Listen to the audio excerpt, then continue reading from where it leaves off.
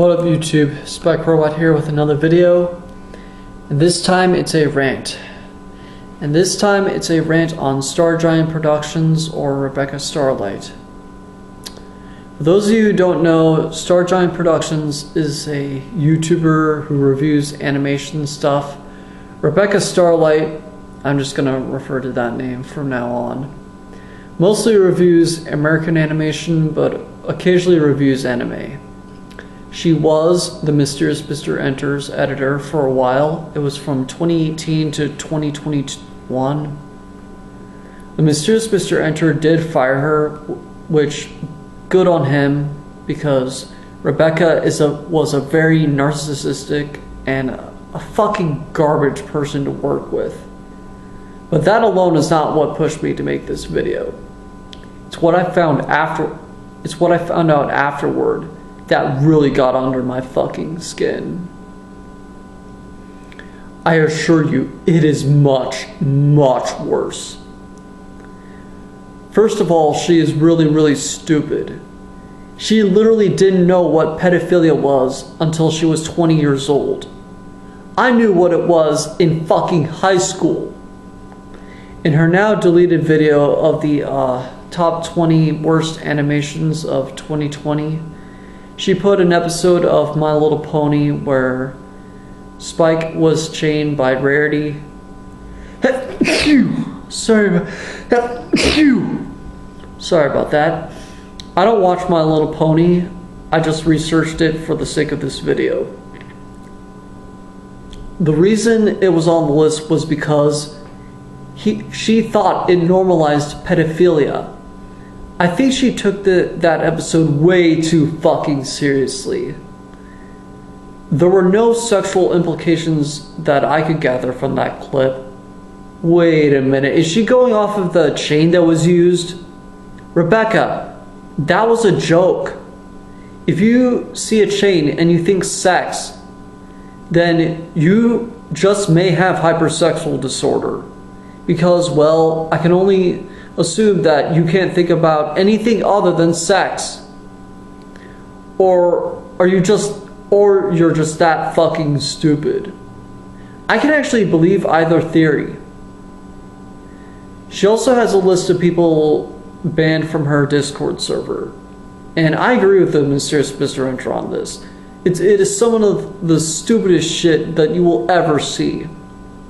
I mean, people like Bill Cosby, Donald Trump, Butch Hartman, John K., Cosmodor, I can understand. But she has people like Danny Elfman, Joe Biden, Tara Strong, and Sean Sorn, which make no sense. Um, as for Sean Sorn, uh, that makes the reason why that makes no sense. I'll save for later. But like Danny Elfman, I swear she is making shit up about him. Joe Biden and Tara Strong make no sense because Rebeccah has stated that she is very left wing.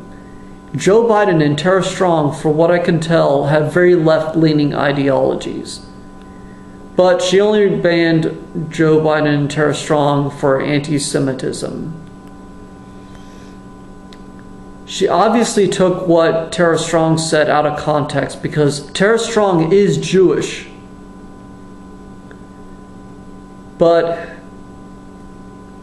I, should probably mention, but uh, Joe Biden obviously, uh, he has there been any evidence of him being of anti-Semitism? Because I I haven't found any.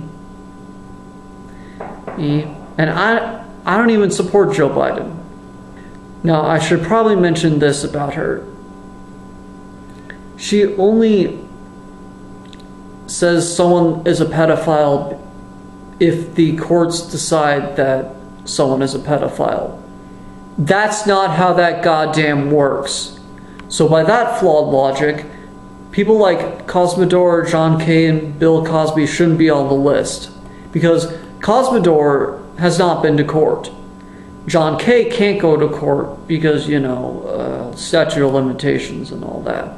And Bill Cosby was convicted of rape, not pedophilia. Or maybe you could change it to rape because, you know, oh, one of the reasons listed was one of the reasons people get banned from her Discord is rape. But I find her quest to fight pedophilia to be quite hypocritical when she has favored DeviantArt fetish drawings of cartoon characters, most of whom are underage. The oldest they have been is 17. Now, 17 is kind of a gray area because some states in the US have 16 as the legal age of consent. But most of the characters are younger than 16, which is really fucked up. She hasn't even favorited a one of a baby, which is so fucking disgusting. I can't even put into words how disgusting that goddamn is. Oh. Not to mention, she has hired people who specialize in sexual drawings of children, including Sean Sorn in Jedi Griffin Productions. Even when she knew about them being sexual predators, you know what she did about them? Edit? Nothing. The most she did was ban Sean Sorn from his or Discord, but she hasn't fired him, from what I can tell. I mean,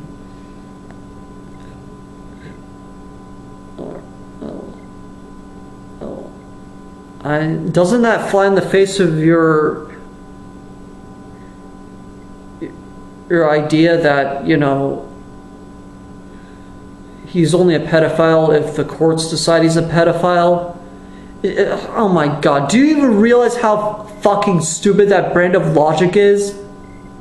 It is so stupid, I don't even think I can laugh at stupidity anymore. See, this is why I hate stupid people so goddamn much. Oh, and she is a hypocrite too. Not just in regards to to that, but she gives Coda, she gives a user named Coda shit for having a gross fetish. Yet some of her fetishes, not like Yuri, Yaoi, giantess, or belly buttons, because those are normal. But she has a few that are arguably much, much more disgusting than Coda's fetish.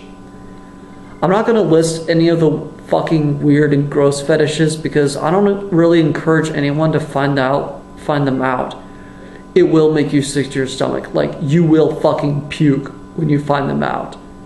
I literally had to meditate after finding them out. That's how gross they are.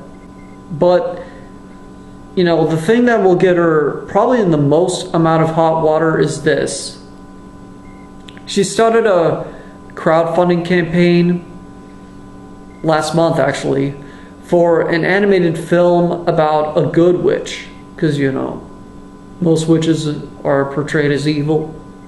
Now, that sounds like a really creative and a really good idea until you find out it's just a self insert fan fiction of Madoka Magica. The problem is not that it's a fan fiction. The problem is that, is, is that she clearly did not ask for permission to do this, nor does the script seem like it's even complete so if this ever gets released, she'll probably go to jail for copyright infringement and fraud. I honestly hope that happens because that's not the that's not even the only illegal thing she has done.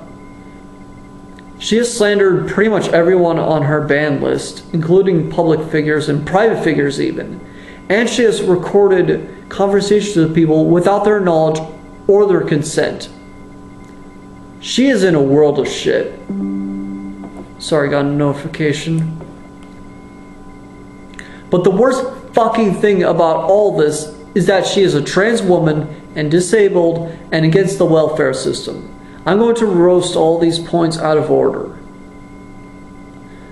Um, being as I am more of a libertarian, I am against the welfare system, which is the only thing I agree with her on. And that's not exactly a comforting thought.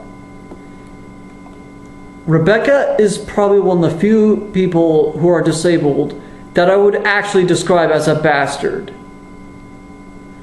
She is not only stupid and hypocritical, but she treats her staff like shit. Even the people who are not scummy, like Sean Sorn and Jedi Griffin.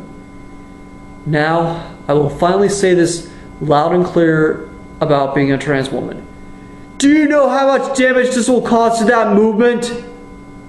It will be a hell of a lot more than you and even I can fathom. Rebeccah Starlight deserves to go to prison for the rest of her fucking life for all the fucking crimes that she has committed. And and even that would be too good for her. I'm just going to say it. She is a pedophile. If you like looking at underage cartoon characters for sexual pleasure and associate with other pedophiles, you are a pedophile. She's also guilty of slander, wiretapping, and copyright infringement, and I, I guess some sort of fraud. And just generally speaking, she is just an awful fucking person.